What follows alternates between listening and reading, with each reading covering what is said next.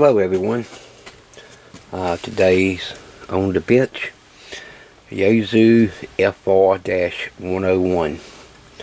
Now this is a HF receiver and it's also capable of 2 meter and 6 meter FM receive.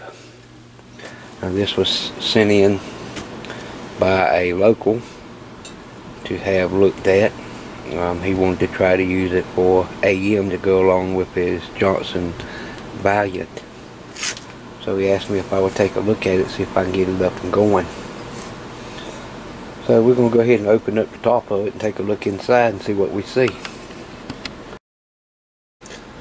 You know, just having a quick peek inside. Um, you know, everything looks to be in place. However, the uh, 2 meter and 6 meter boards are missing. But at one time I can tell they were installed as you can see by the uh, chassis. You can tell where the metal has set and where the metal won't setting you can see the uh, how dirty the chassis is. So uh, they have been removed Another thing I'm seeing is this little board here on the back with a potentiometer. And it says active antenna. So someone's installed an active antenna board. And up here at the front, there's some kind of little modified board that's been added. No idea what this is. It's just kind of flapping around inside. I don't like seeing, you know, stuff like that. I do see all the crystals down in there, so like there's no crystal is missing. So we just want to turn this thing on and, and see if it does anything whatsoever. Now since there's no tubes and high voltage involved in this radio, I'm not too uh, worried about firing it up. I know the owner has already had it plugged in and was testing it and said he was not able to receive anything. We'll go ahead and turn the power on and I do hear some static in the speaker. We're on 7.200 so band switch is set there. Let's see everything else, see what it's setting at. Attenuators down. VHF is off. We're on fast, internal. All the buttons are out. We'll be on FM wide. This is the uh, RF gain and the AF gain. I'm gonna pop the uh, signal generator on. And we'll feed a signal right into the uh, back of the radio to make sure our muting plug was in place.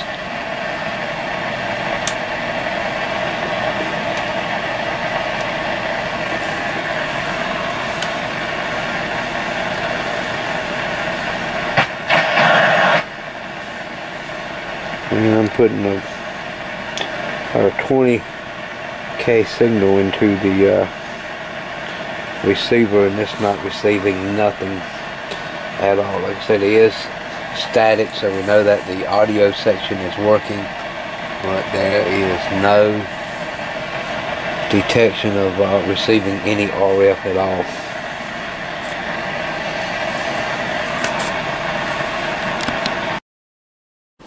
So inside our radio, you'll note the uh, transformer here, and here you'll see another board. This is our regulator board and our beat frequency oscillator board. All on the same board. Yeah kind of strange ain't it? You wouldn't think that they would have the uh, beat frequency oscillator located on the same uh, board as any power supply circuitry but they do. And when we simply pull this board out you can see this half of it is our BFO and this half of it is our regulator and our um, bridge rectifier and filtering for the two power supply rails. you turn it over you can see it's separated right down the middle by these two uh, ground plane traces so again you know simple but effective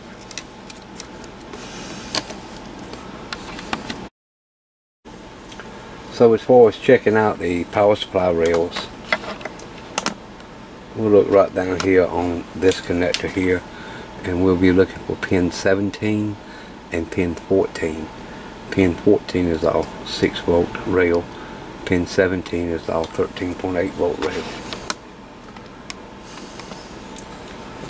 And we'll power the unit up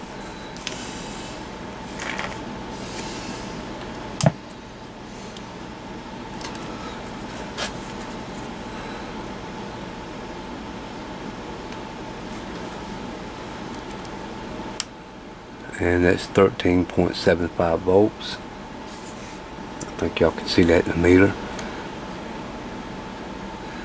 And our 14 is running about 5.68 a little low. Again you know probably need to change out some capacitors. But uh, it's well within working tolerance of this radio.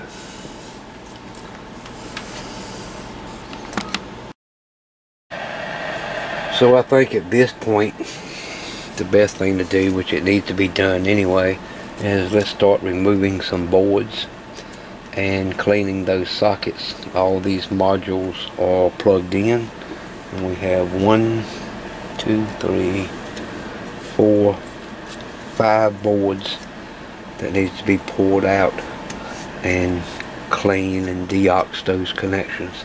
You'd be surprised sometimes at how much difference that'll make just by cleaning those. I've seen it bring dead radios right back to life without having to do hardly anything else to it.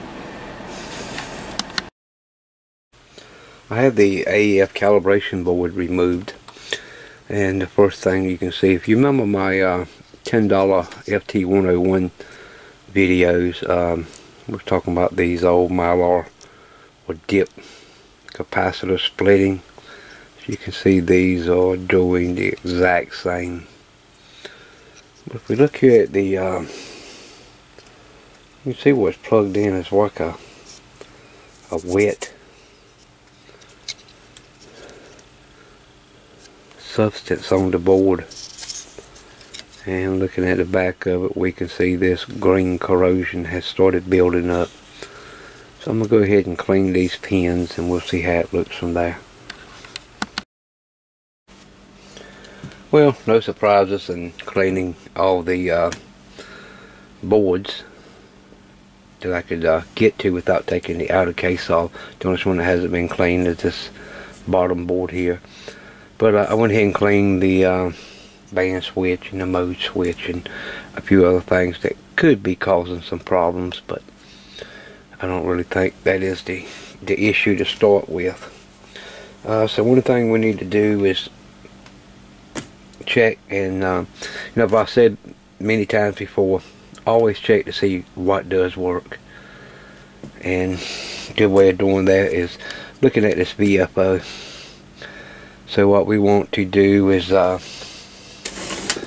you see three pins here on the uh, VFO and what we want to do is go where this red wire is, this is all signal out. And we're just going to uh, cut the volume down.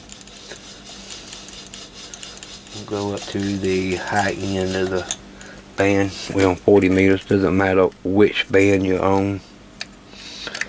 We can't we get this uh, clipped on here.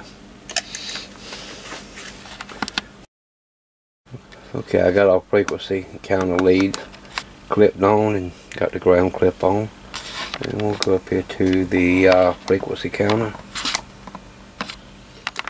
And you can see we're reading about 8.6 megahertz.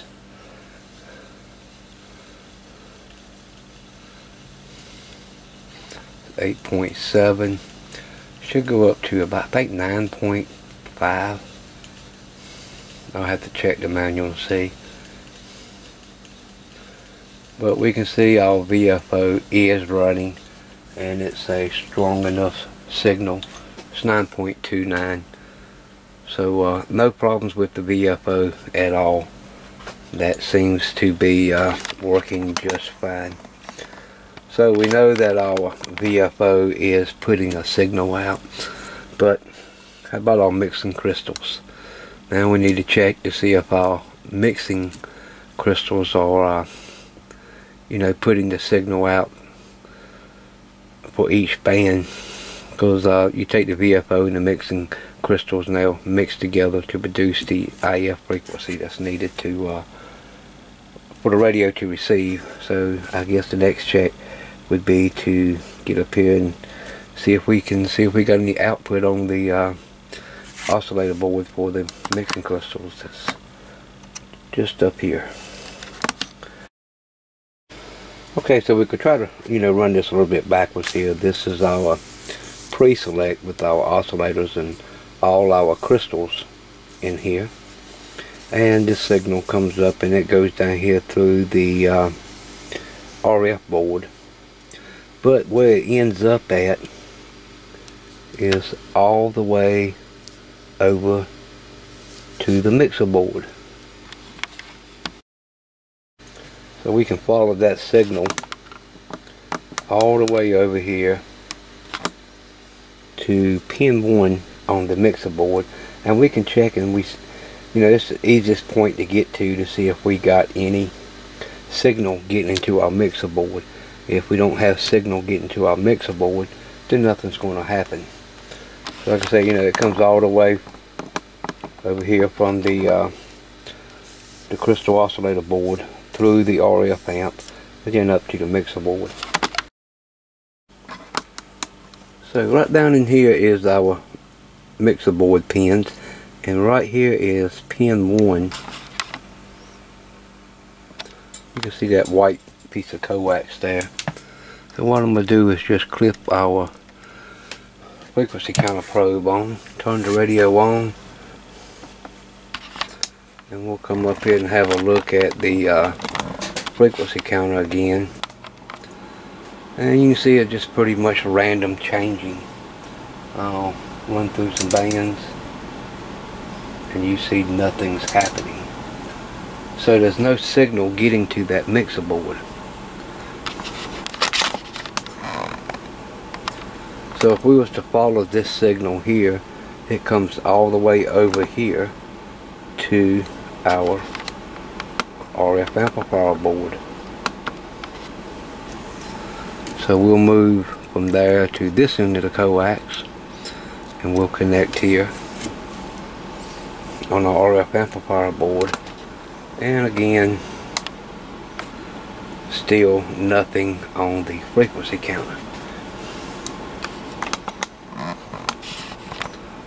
so uh, what we want to do now we're going to look at the input of the RF board. So we'll come right over here to this side and we'll clip on this little uh-huh. Did you see that?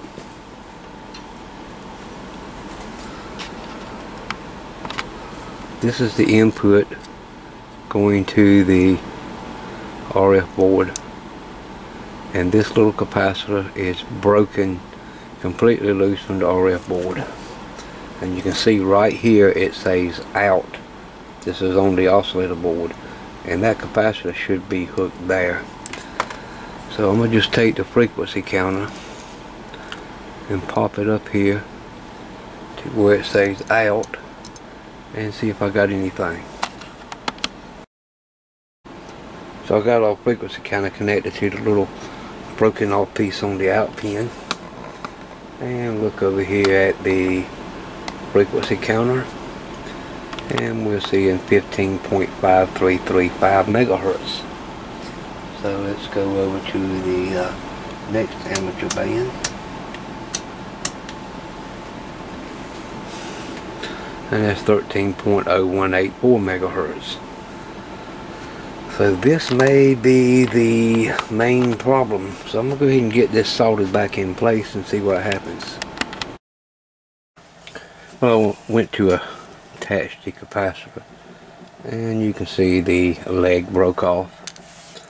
So uh, what I did was just went up here and tack soldered another capacitor in its place just to go ahead and check and see if anything is uh, working right.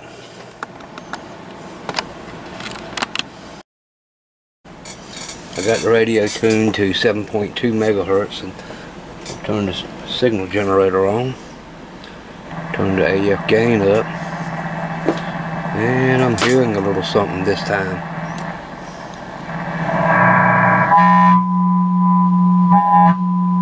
Ah. We cut that down so it ain't so loud in the camera. This camera picks up this tone so easily. Got this on slow. Then turn the uh,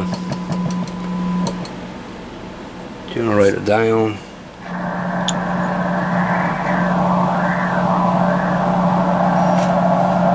We're still receiving a signal. That's about 0.5 microvolts. And about 0.2 I'm still hearing it.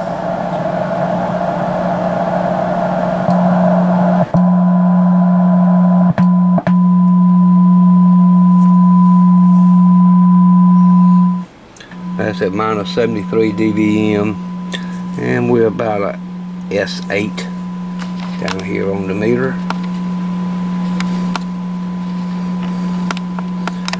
So our uh, rig is coming back to life.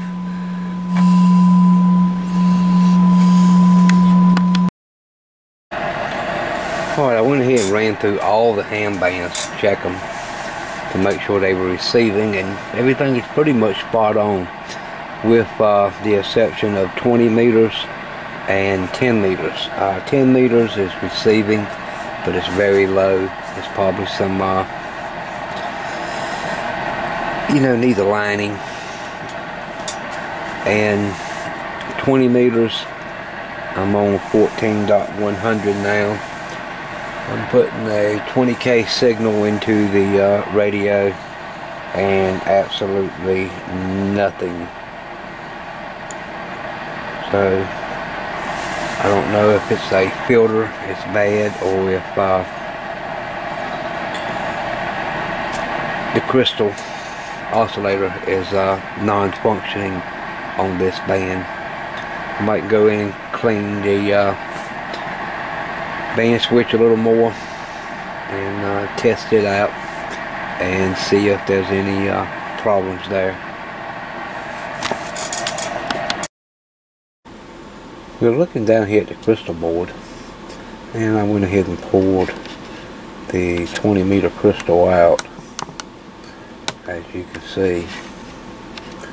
And for some reason if you look around the holes it's very wet. I don't know if somebody sprayed some type of cleaner down there but I got a feeling that those uh, crystal uh, pins may be uh, corroded or something. So probably going to have to end up getting down there and taking that board out and cleaning everything up. But this may be why the uh, 20 meter band is not working. I got a uh, crystal plugged into my crystal oscillator board and plugged directly into the frequency counter. And you see it's reading 20.015 megahertz. I think it should be 20 0.02 according to the manual so it's not far off to be causing any kind of issues. Nothing that can't be trimmed up with the trimmer. But we're gonna have to get in there and see if we can find out why this 20 meter band is not working. It could be be a tap on the uh, band selector so we'll have to look at that and see. And you know that's just a uh, a basic little crystal board with a uh, emitter follower transistor. If you've never seen one of these, uh, Alan W2AEW had put this on one of his YouTube videos and right after watching that I built this. It was a little over a year, maybe two years ago and it works great for just testing crystals.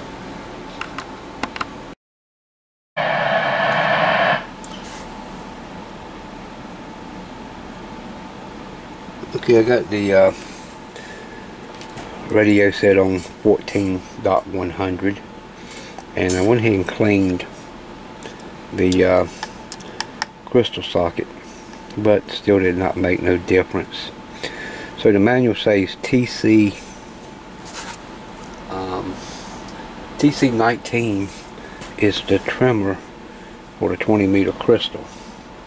Now I'm going to turn the volume up. I got the generator on and we're going to just tune that trimmer and see if anything comes up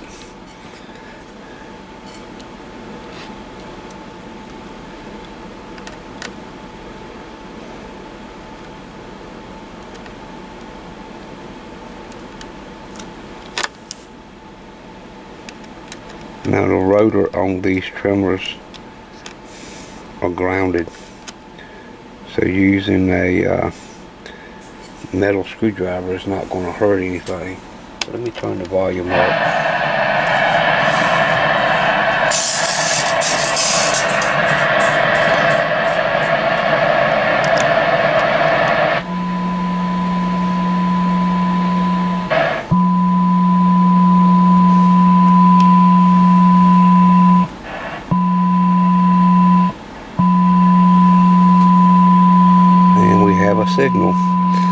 First way I turn it, you probably can hear the signal and that's on the uh, back side of the trimmer. So we'll turn it all the way around. And I'll watch the S meter. Kind of peek it out.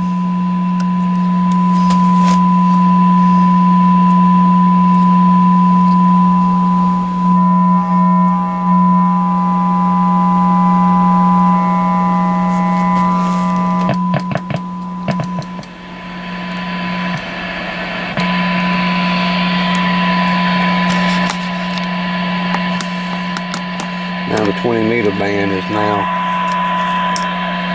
receiving all the way down to about 0.5 microvolts.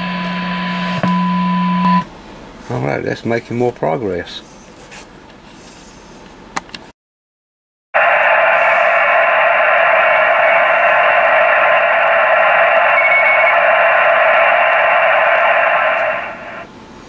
We're all hearing a little code down on the low end of 20 as you can see by this uh, meter looks like about an S7 noise floor today in here.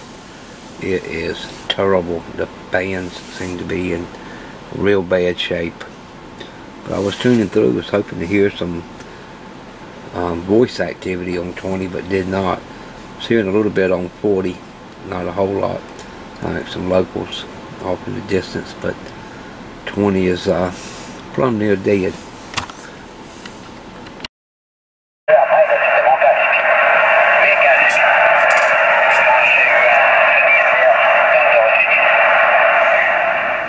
Well, it seems to be the only voice that I'm picking up today on 20 is uh, foreign. so, uh, you know, if it's picking up foreign people, uh, God knows where they at um, it should be receiving uh, more than what we're seeing but um, apparently nobody wants to talk on the band today but uh, yeah uh, 20 now seems to be working just fine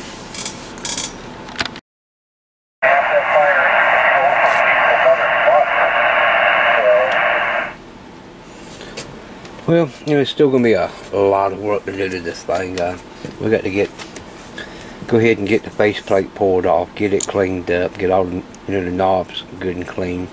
Clean out all the potentiometers and the uh, switches, all the controls, get all them back to where they need to be. And um, another problem, I don't know how good y'all will see this in the camera. Let me re remove the camera and uh, so you can get a better view of it.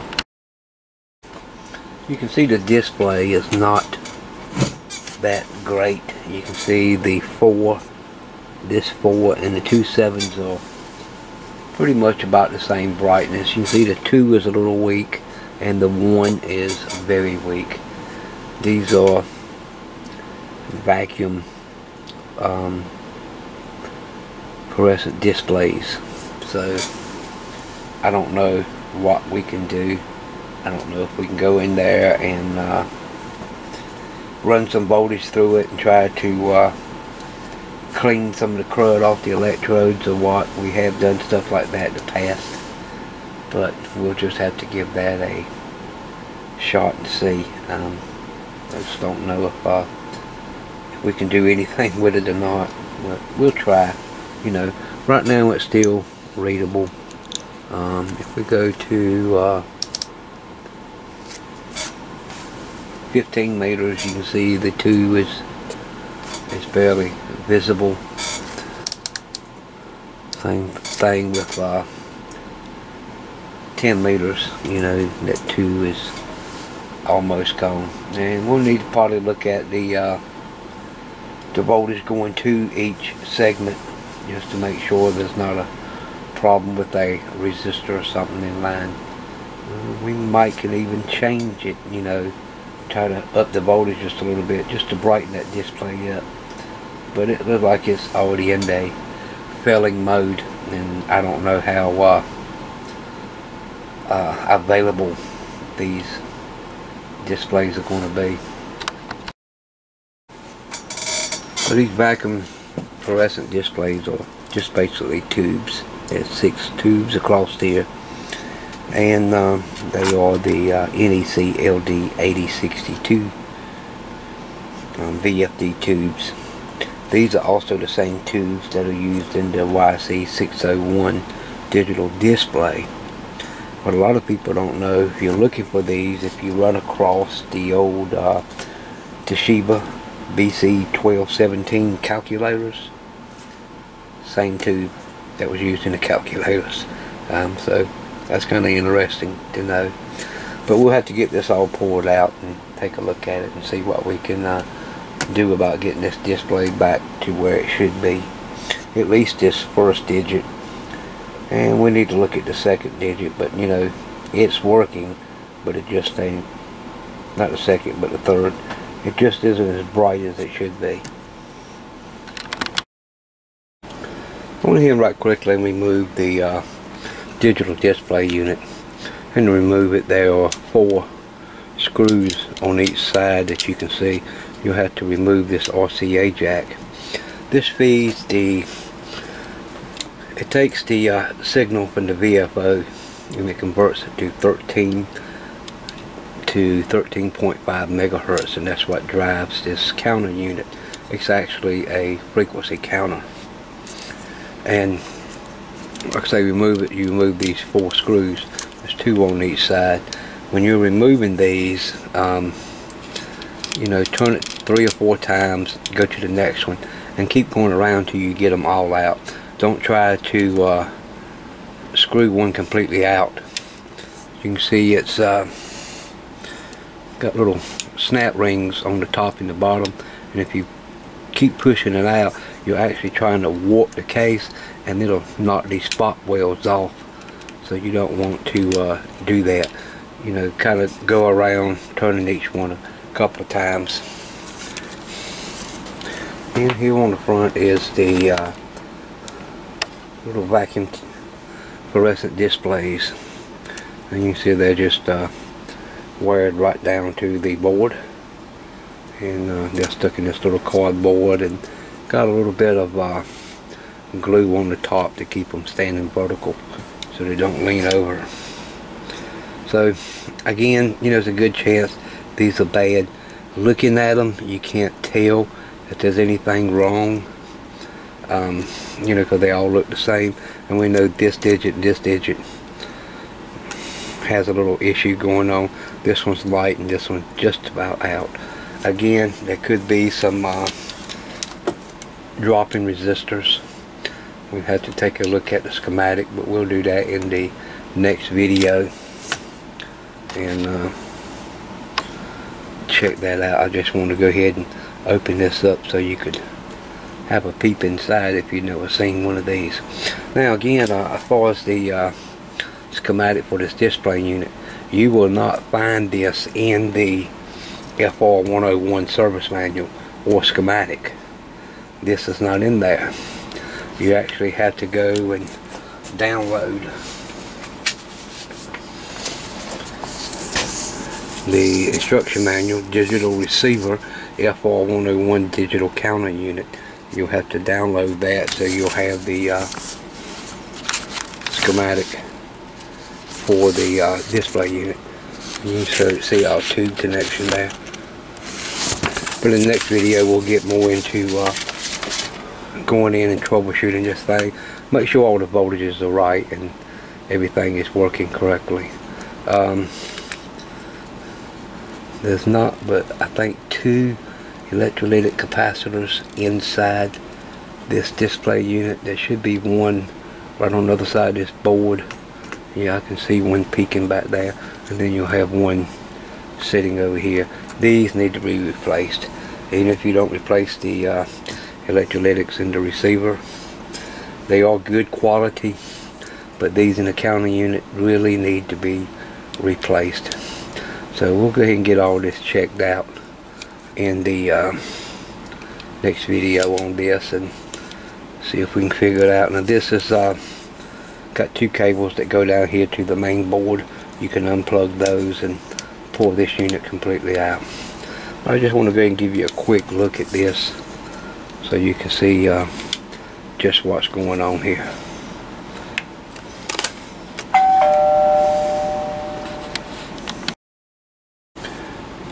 one last quick thing.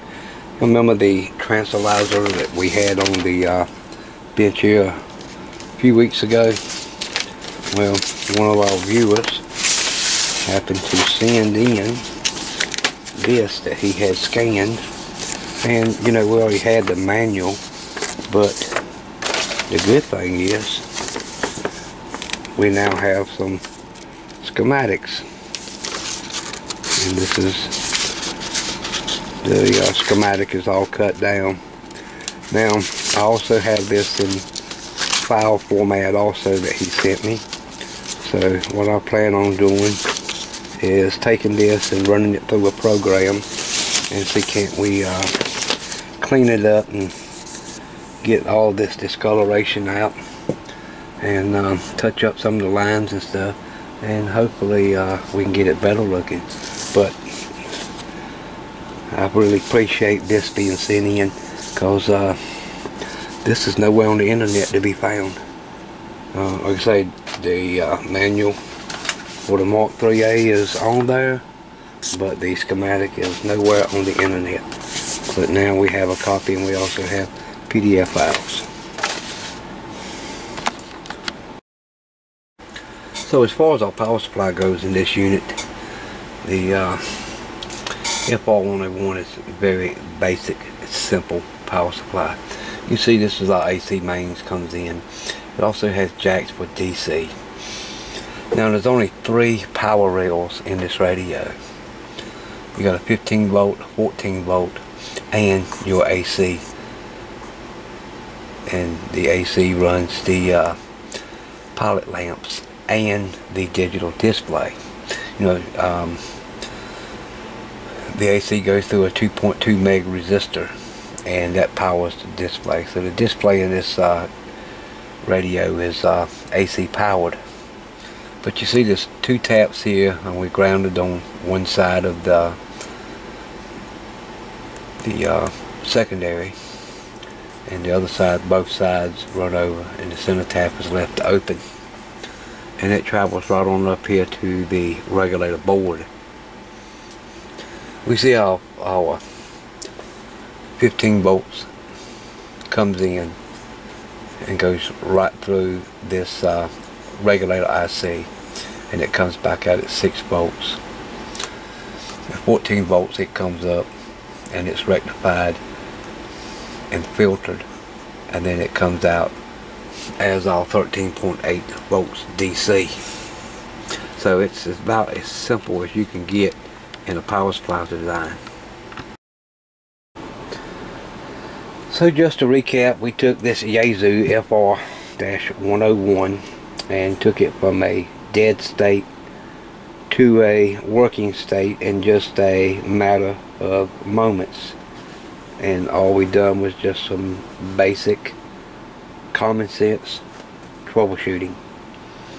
and you know that involved pulling out some boards and cleaning them then checking to see what was working. We found out that the VFO was working. And then we moved right on to the uh, oscillator and found out that there was no signal there. And that was due to a bad capacitor that was broken away from the circuit board. And then we found that 20 meters weren't working and a simple uh, tweak on the trimmer brought that back to life. So as you can see just you know 30 minutes and this radio is now back working and it's at the state where we can go in and we can work on it now and start cleaning um, checking over bad parts replacing those split capacitors that you saw in the video earlier and then we can start you know doing some cosmetic cleaning and you know make another look over and then figure out what we're going to do about this uh, abomination. I think it's a good idea what they were trying to do, but uh, these transistors are war 2N30. Let me get a light on here so I can see it. They are 2N3053s as a pair of them. And you see we got a, about three inductors, a few caps, and some passive resistors, and uh, one electrolytic. And looking at this is where this is tied into and where it's coming from. It seems to be a receiver preamp that someone has added in. Well, you know, you already added in this uh, active antenna back in the back. And then they've added this receiver preamp. So uh, you know with all this right here probably going to be close to overdriving the front end of this receiver. And I don't think it really needs all that. So we might just do away with uh, one of the two or if we decided, you know, I'll talk with the owner. If he wants to keep this, we can uh, probably put it in a relay to switch it completely out or, or back in. Um, my thoughts is take it completely out. These radios were not too bad of a receiver to start with. So uh, I don't really think we need it, especially with this active antenna that they've got uh, installed in it back here. So you can see we made some pretty good progress on this thing. Now it's it's filthy all over. I haven't cleaned that much um, over here on the side. You can see the uh, cobwebs that's built up on it. I mean it's just completely filthy. So uh, in the meantime, I'm going to start doing some cleaning of this thing and get it nice, pretty, and shiny. And we're going to end this video and call it part one, overview inspection. And then in the next video, we'll get down to some nitty gritty and uh, looking at what needs to be replaced. We already know that the old brown dip capacitors has got to go because uh, they look like split peas. So uh, yeah, I think we're off to a good start on this one. And uh, you can see she's packed full of filters over here. We got a CW filter, AM filter, and a single sideband filter. So it ought to be pretty good. Would love to find the uh, two meter and six meter boards and put in here for them, but that's going to be like looking for hen's teeth. that would make this radio pretty complete. It does have the FM board setting over here. So that's been installed. So that's a good thing. We do have that. But uh, yeah, it would be nice to uh, find those uh, other two boards and put in here. You know, just to make the radio complete. Anyway, I hope you enjoyed part one of this. It was kind of fun to go through this thing and bring it from a dead state to a working state without doing just a whole lot and just you know basic common sense troubleshooting. So anyway plenty to do here in the shop. We'll get to some more videos and uh, I'll probably gather up some parts and get some stuff ordered for this and uh, we'll catch this video up here not too long for now on part two of this. Anyway hear your comments down below and we'll see you in the next video. Bye now